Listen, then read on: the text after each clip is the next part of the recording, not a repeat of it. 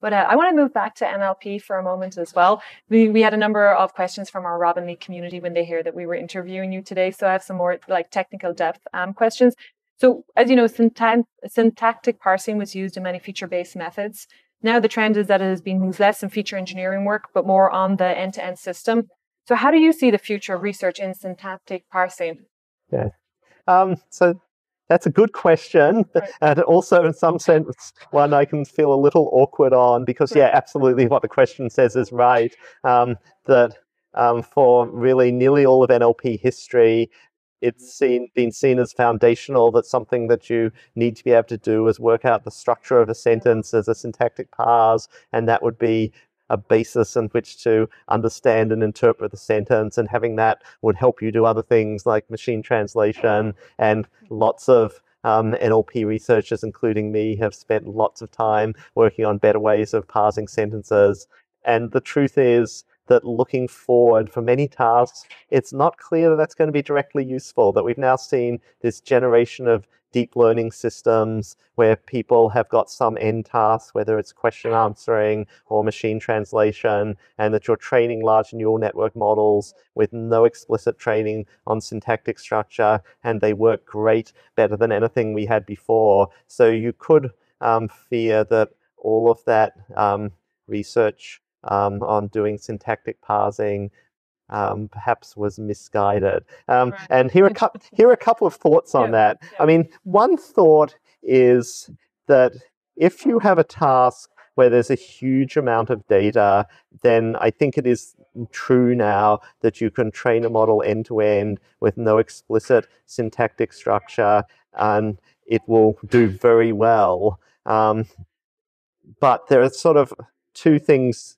there are then two things that go in the opposite direction. The first one is, well, why does it do very well? And actually, something I've been working on recently with uh, um, a new student, John Hewitt, is looking at some of these deep contextual language models like ELMo and BERT, which are trained on humongous amounts of um, textual data with no knowledge of syntactic structure. And the truth is that we've been able to show quite convincingly that actually models like ELMo and BERT are learning syntactic structure, that they're trained on enough billions of words of text that they start to see the patterns and understand the utility of the patterns and actually have syntactic structure in the models that they're learning that they're just inducing automatically. So in sense, in some sense, these models are proving that what linguists say about syntax is approximately right, right? right. They're recognizing the kind of structure of sentences and understanding what's a relative clause uh, is actually important to be able to predict with language, and these models learn that syntactic structure. So there will be still be syntactic structure. It might just be we're having the models learn it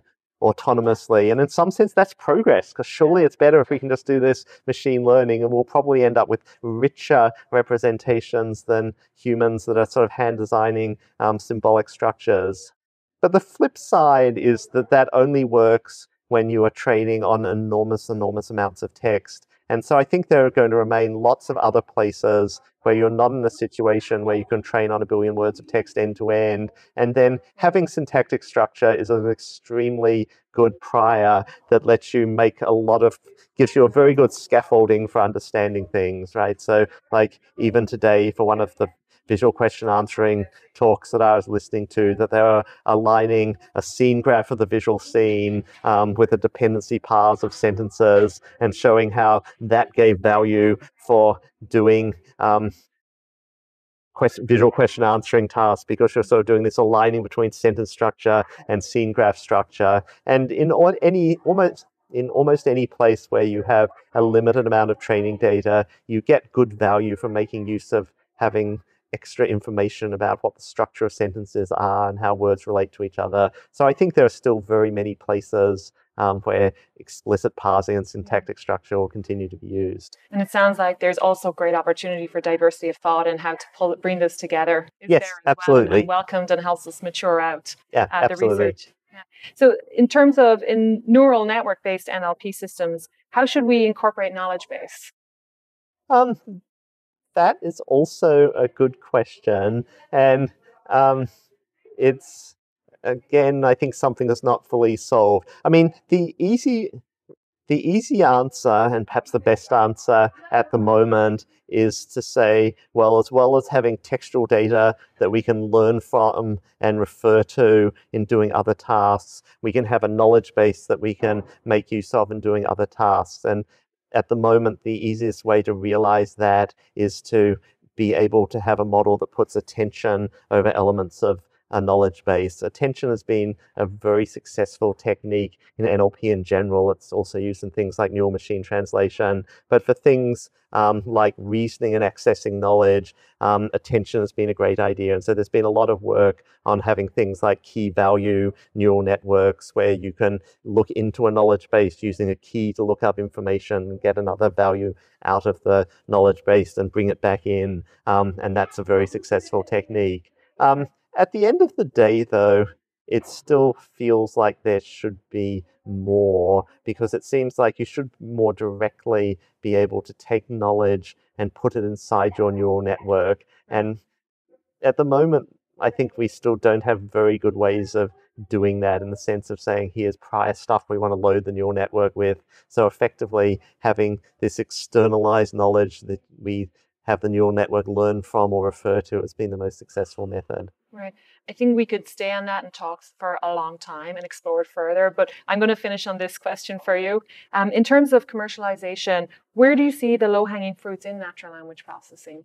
And um, right. So I guess a lot of that um, depends on what area you're in Right, and right. what you want to do and things like that. Um, you know, there are particular applications, obviously, for things like machine translation, where um, NLP in particular in recent years, Neural MT have been super successful and work super well. Um, but that's um, area which is only of interest to a limited range of companies. Um, I think it's, you know, for more general use cases, I think there's no doubt at all that the most popular use case has been in the area of dialogue agents, right? That for many um, companies, interacting with customers is a huge cost um, or a huge opportunity that people, if there's other areas like trying to line up new customers, it's a huge opportunity that is insufficiently rec-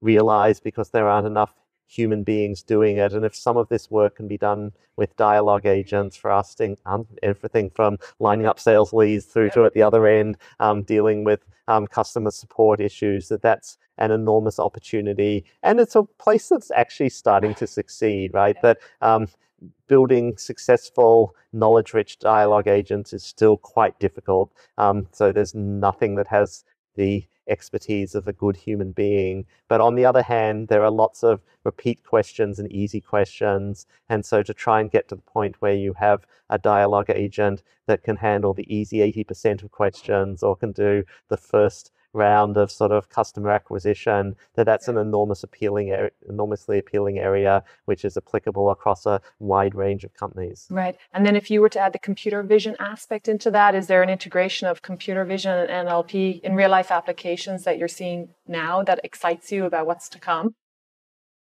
Uh, if I'm honest, I think not so much in commercial applications because it feels like the clear commercial applications at the moment tend to be more disjoint because the clear commercial applications for vision are things like um, sort of doing any kind of imaging analysis to find Right. things in it and things like that. I mean, there are clearly places where um, vision and language go together um, that you're, um, whether it's sort of um, looking at things with your phone camera and then getting descriptions of what you see. Um, there's sort of been discussion of work to help blind people and in ways like that, or it can just be used sort of to help a tourist um, to sort of tell them Right. about what's going on. You know, so there are sort of nice applications that combine vision and language. I'm not sure there's really a kind of a, a clear commercial killer application at the mo- that's emerged at the moment. Not yet, anyway.